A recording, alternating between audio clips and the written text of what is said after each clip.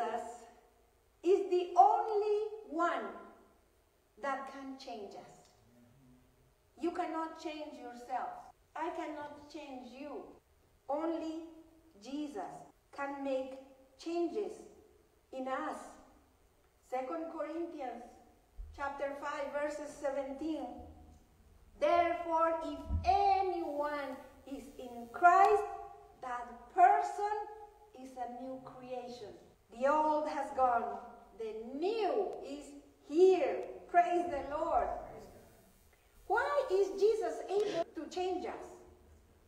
Because he works here in our hearts. Jesus is the only one that can work in our hearts from the inside.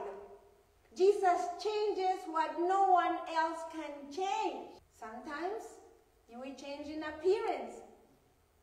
But Jesus, if you trust him, if you believe can change you from the inside, your heart, your motives, your desires, your dreams.